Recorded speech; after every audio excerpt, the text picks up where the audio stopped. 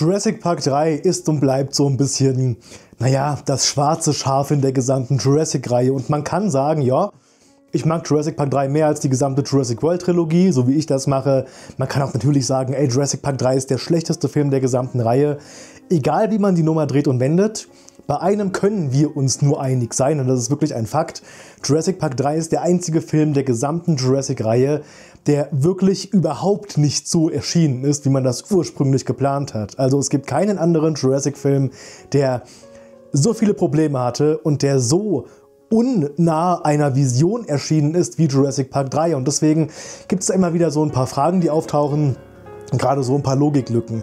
Ich werde jetzt hier auf mehrfache Anfragen, was den Spinosaurus angeht, noch einmal auf die essentiellsten Fragen zu dem Tier eingehen, zu denen es sogar bestimmte Aussagen im Kompendium gegeben hat, die habe ich glaube ich noch gar nicht erwähnt und neue, naja, neue Interviews, die ich jetzt im Internet gefunden habe, die sind zwar auch schon ein bisschen älter, also neu für mich, weil ich sie erst jetzt gefunden habe, die so ein paar Sachen erklären, wie warum kann der Spinosaurus hier durch das gesamte, durch das Gehege einfach durchbrechen und dann später nicht mehr. Da haben wir uns auch schon mal eine Antwort zusammengesponnen. Jetzt haben wir hier eine offizielle Antwort, warum das so ist.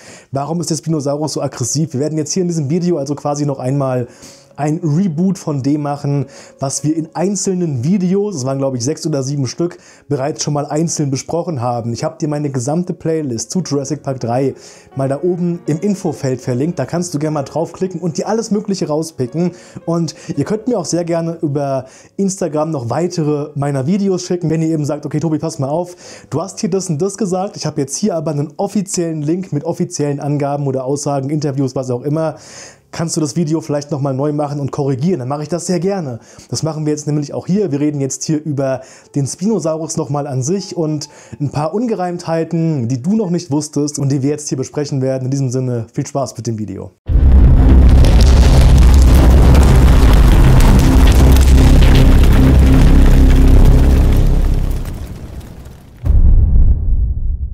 Okay, eine der bekanntesten Ungereimtheiten und eine eine Antwort dazu, die zu unfassbar vielen Diskussionen führen, auch gerade in den Kommentaren unter den gesamten Jurassic Park 3 Videos, ist die Frage, warum ist der Spinosaurus jetzt eigentlich so aggressiv im Film? Und einige sagen, naja, da war halt ein Baby-Spinosaurus gewesen, den haben wir nun nicht gesehen, der wurde aber von Cooper erschossen und deswegen hat Cooper auch so eine so eine Wunde am Arm, weil der Spinosaurus Cooper nämlich vorher angegriffen hat und deswegen hat dann eben Cooper auf den Spinosaurus geschossen. Und der erwachsene Spinosaurus hat das dann beobachtet und deswegen hat er die Menschen über die gesamte Insel verfolgt. Und dann sagen wieder andere, nee, ist doch Bullshit, das ist ähm, das Amalgam-Testing ist daran schuld, dass der Spinosaurus so aggressiv ist und die Menschen verfolgt. Und dann fragen sich die beiden gegenüber nach der Quelle und dann schicken sich beide meine Videos als Quellen zu. Hoppla, das widerspricht sich so ein bisschen. Und tatsächlich ich habe es vielleicht nicht richtig rübergebracht oder habe ich vielleicht doch einfach nie gegenübergestellt, was denn jetzt offiziell im Kanon tatsächlich Fakt ist. Die ganze Nummer mit dem Baby Spinosaurus müssen wir ein bisschen stiefmütterlicher behandeln. Das war eine ursprüngliche Idee gewesen. Es gab ein Interview mit dem Regisseur, in welchem er gesagt hat, dass eine Ursprungsidee, quasi während sie das Drehbuch noch geschrieben haben, das war noch nicht mal zu Ende geschrieben, die ist damals gewesen, dass Cooper bei, beim, beim Inspizieren der Insel, während sie am Anfang Da ihre Wach Wachposten einnehmen, dass Cooper da in das Nest eines Babyspinosaurus fällt und sich dem eben nähert. Dann greift der Babyspinosaurus auf einmal Cooper an, verwundet ihn schwer am Arm und daraufhin erschießt Cooper diesen Babyspinosaurus tatsächlich einfach. Volunteering the idea that hey maybe maybe this one of the mercs kills a baby Spinosaurus and that's what that's what pisses off the the parent Spinosaurus. And that's why it pursues them through the whole story. Naja, die Szene hat es weder ins fertige Drehbuch geschafft, noch hat es die Szene später in den Film geschafft, logischerweise. Dann ist eben aber die Frage, warum taucht Cooper später mit dieser Wunde am Arm auf? Und tatsächlich war das so ein bisschen ein Gedankenfehler selber, also ein Gedankenfehler des Regisseurs, denn er meinte, dass diese Szene tatsächlich darauf aufbauen soll, dass Cooper am Arm vom Baby Spinosaurus verletzt wurde. Dass diese Szene allerdings überhaupt nicht für den Film geplant war, das wusste er im Endeffekt gar nicht. Wo ich mir denke, als Regisseur, Hast du da nicht irgendwie ein bisschen was mitzureden? Also ich würde wirklich, ich würde mich so freuen, wenn es irgendwann mal eine Dokumentation geben würde, die genau beschreibt, was bei Jurassic Park 3 damals passiert ist. Das ist wieder so, so zusammenhangslos. Genauso wie die Frage, warum hat man die Szene eigentlich nicht wirklich verfilmt? Und die Aussage vom Regisseur selber ist darauf hingewiesen, weil der Film sonst zu lang geworden wäre. Und ich denke mir, naja, das ist der kürzeste Film der gesamten Jurassic-Reihe. Da stimmen also so ein paar Sachen nicht wirklich. Also ja, Cooper rennt aus dem Wald raus, mit der Wunde am Arm, weil man gedacht hat, okay, die Baby-Spinosaurus-Szene,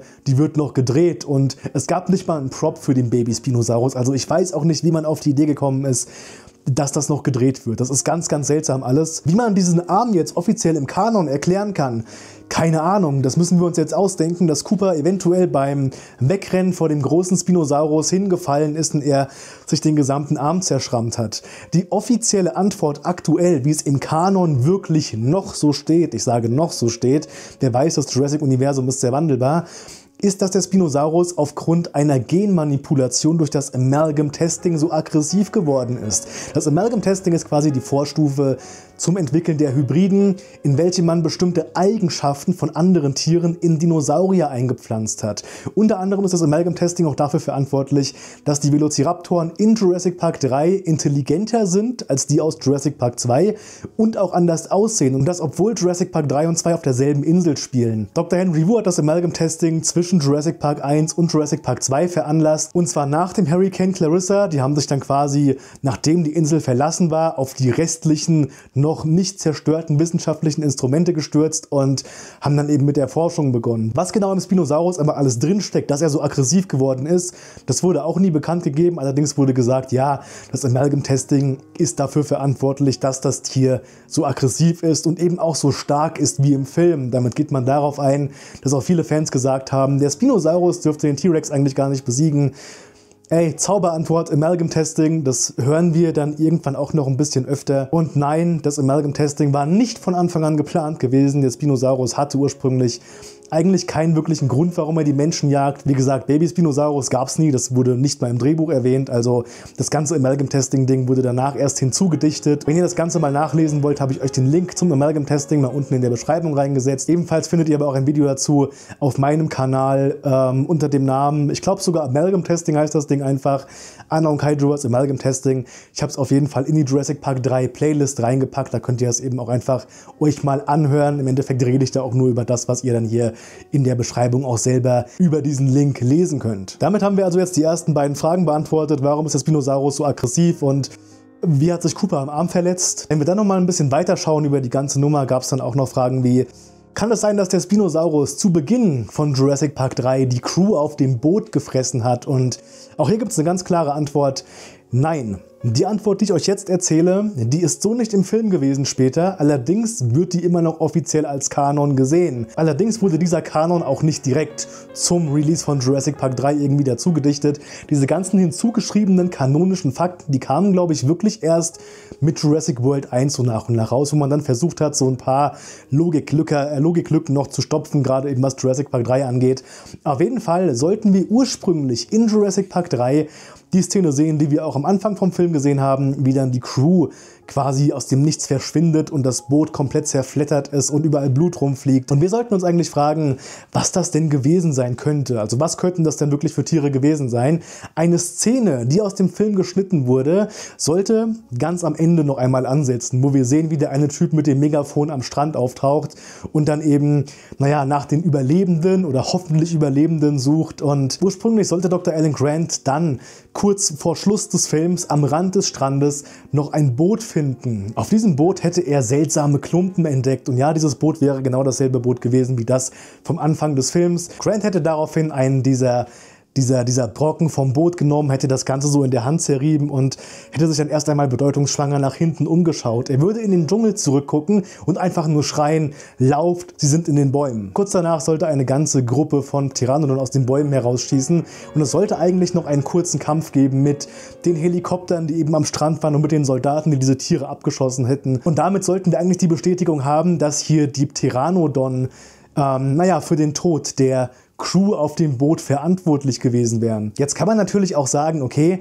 das heißt also dann, die gesamte Szene mit dem Vogelkäfig wäre nicht im Film gewesen, sehr wahrscheinlich doch. Und dann fragt man sich wieder, wie sind die aber dann da rausgekommen? Denn der Vogelkäfig wurde ja erst geöffnet, nachdem das Boot gefressen wurde. Und tatsächlich stimmt das. Die Pteranodon aus dem Vogelkäfig, die kamen erst in Jurassic Park 3 in der Mitte des Films circa oder gegen Ende des Films aus dem Vogelkäfig raus. Allerdings haben wir in The Lost World Jurassic Park 2 ebenfalls Pteranodon frei herumfliegen gesehen. Das heißt, die Tiere waren bereits in Freiheit gewesen und das könnten eben die hier gewesen sein.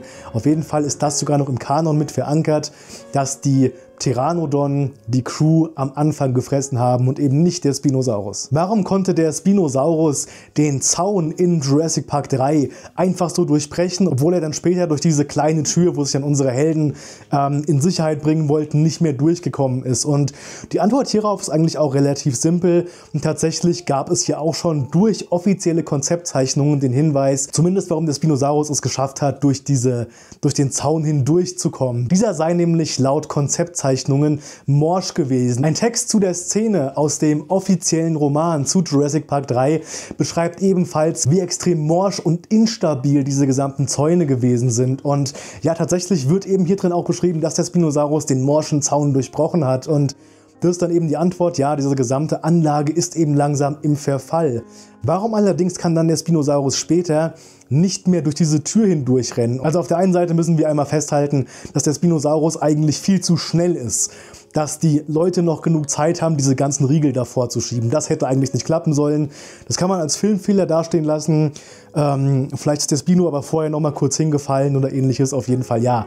Aber was ist denn mit der Tür an sich? Können solche Riegel ein so gewaltiges Monster denn wirklich aufhalten, obwohl der kurz vorher durch diese durch die gesamte Zaunanlage durchgebrochen ist? Und die Antwort hierauf ist tatsächlich ja, das geht im Endeffekt schon. Ein US-amerikanischer YouTuber hat sich die Szene mal ein bisschen genauer vorgenommen, um eben herauszufinden, okay, inwiefern passt das jetzt hier mit der Physik zusammen. Und ich meine auch, dass sogar einer von euch unter meinem älteren Video, wie gesagt, alles in der Playlist mit drin, da hat mir einer von euch auch drunter geschrieben, dass er oder sie sogar Maschinenbau studiert und dass das sogar irgendwie erklärbar und logisch wäre. Und das Beispiel wäre ungefähr so, wie wenn ich versuchen würde, mit dem Finger durch ein DIN A4-Blatt durchzustechen und das gleiche dann aber nochmal versuche mit einem wesentlich kleineren Blatt, quasi einem DIN A4-Blatt, was wirklich sechs, sieben Mal geknickt ist. Das wäre dann ebenfalls sehr viel viel stabiler. Ebenso könne man auch im Film sehen, dass die gesamten Vorkehrungen, die quasi getroffen werden müssen, also die gesamten Verriegelungen,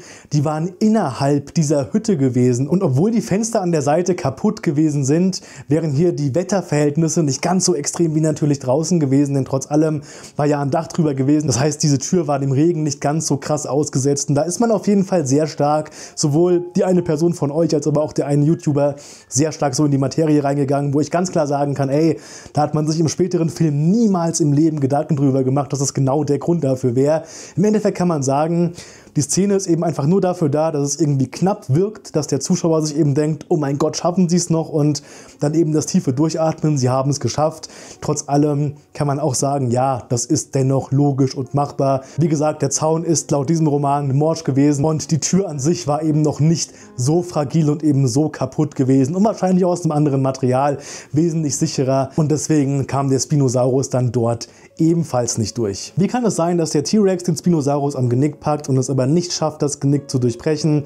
Da habe ich auch schon mal ein Video dazu gemacht und die Antwort hierbei könnte sein das Amalgam Testing, denn durch das Amalgam Testing wurden unter anderem ebenfalls auch Knochenskelette, wie zum Beispiel das von Indominus Rex, verhärtet, um dieses unnatürliche Gewicht auf den Knochen tragen zu können. Da der Spinosaurus im Jurassic Park 3 Film auch naja, wesentlich stärker, wesentlich kräftiger ist, könnte man das damit erklären. Wie gesagt, das Amalgam-Testing, das flackert inzwischen immer wieder mal so auf als Allzwecklösung für alles. Aber das wäre im Endeffekt das gesamte Mysterium rund um den Spinosaurus gewesen. Bis auf eine einzige Sache noch. Eine ganz wichtige Frage, die auch immer wieder vorkommt. Ist der Spinosaurus ein Hybrid? Nein. Also in der Definition von Jurassic Park ist er das eben nicht, denn als Hybride werden in der Welt von Jurassic lediglich Dinosaurier benannt, die eben aus weiteren Dinosaurier-Komponenten bestehen. Das heißt zum Beispiel der Indominus Rex besteht ja auch aus Oktopus zum Teil. Das macht ihn noch nicht zum Hybriden. Die Raptor-DNS und die T-Rex-DNS und die vom Giganotosaurus, die machen ihn erst zum Hybriden. Das heißt, auch der T-Rex ist kein Hybride, nur weil er eben noch Frosch-DNS in sich hatte. Ein T-Rex wäre erst dann ein Hybrid gewesen, wenn er noch Raptor-DNS hätte und ihm dadurch dann irgendwie noch zwei riesige Krallen gewachsen wären. Was eine ziemlich coole Sache wäre. Aber Deswegen nein, der Spinosaurus zählt in der Welt von Jurassic nicht als Hybrid. Okay, ich hoffe, ich konnte dieses Video nochmal aufleben lassen, beziehungsweise nochmal ganz schön knackig sechs Videos hier zusammenfügen. Und wie gesagt, wenn ihr halt noch Fragen dann dazu habt, ich werde gucken, ob es sich lohnt, dazu nochmal ein neues Video zu machen. Schlimmstenfalls sage ich euch eben einfach, nee, pass mal auf, guck mal da rein, da gibt es schon ein Video dann dazu, aber schreibt mir das ganz gerne einfach mal. Lasst mich auf jeden Fall wissen, was ihr von so Videos haltet, wenn ich vielleicht hier und da nochmal bestimmte Dinge äh, erneuere, also auf den neuesten Stand bringe oder eben auch nochmal zusammen zusammenfasse und dann gucken wir mal. Dann gucken wir mal, dass wir das vielleicht auch hier und da nochmal machen können, wenn sich das Ganze aber auch dann wirklich lohnt. In diesem Sinne bin ich für heute raus, ihr Lieben, mit dem Video. Ich wünsche euch was. Bis zum nächsten Mal. Macht's gut. Ciao, ciao.